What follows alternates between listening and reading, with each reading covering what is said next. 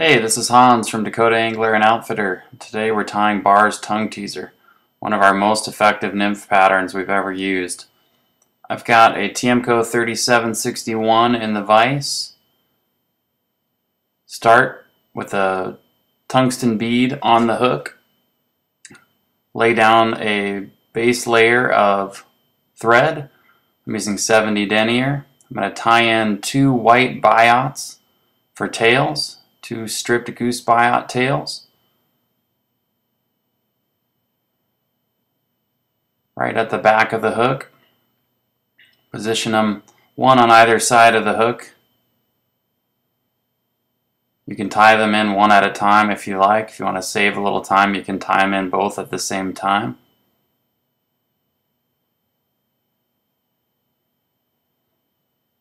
Once those are tied in the way you like it, wrap up the hook shank, covering up the goose biot so you have a nice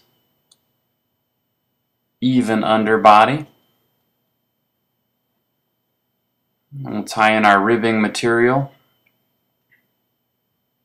Use copper wire. You can also use gold wire. Tie that in at the front of the hook and wrap to the back. Next we'll dub our body using Arizona peacock dubbing. You can either use the bronze peacock or original peacock color. It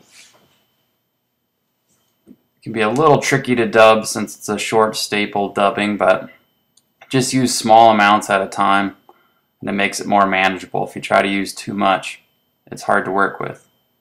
Rib to the front of the body with your wire. You get to the front of the hook, tie off your wire. Either break or trim off your excess.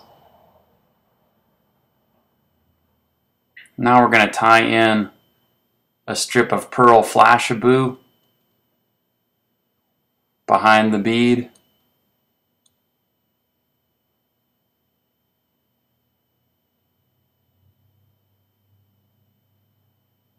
wrap back.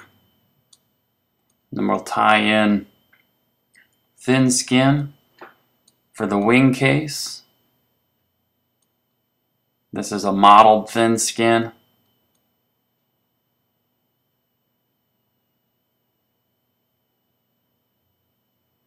You can vary these colors up a little bit, but this is a kind of a mottled gray thin skin.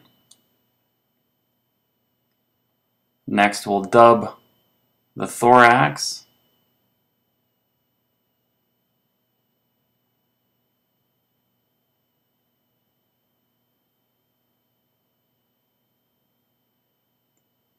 Creating a nice thick thorax. Finish up behind the bead where we'll tie in some legs. Use partridge feathers here for the legs. You can also use India hen.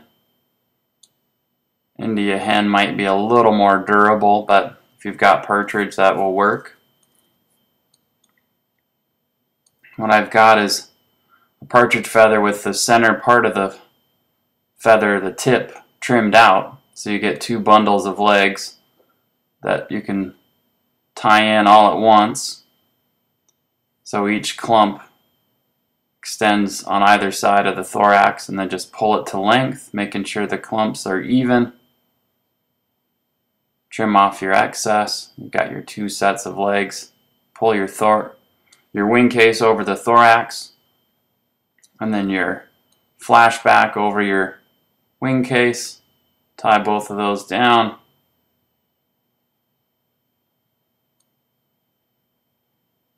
I like to fold them back and put in a few thread wraps before trimming off the excess. Try to get as close as you can with that. Trim off your excess.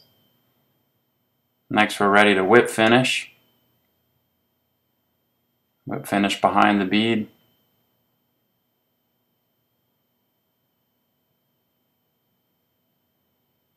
And then finally we're going to put some epoxy or in this case I'm going to use liquid fusion for the wing or uh, for the epoxy back on the wing case.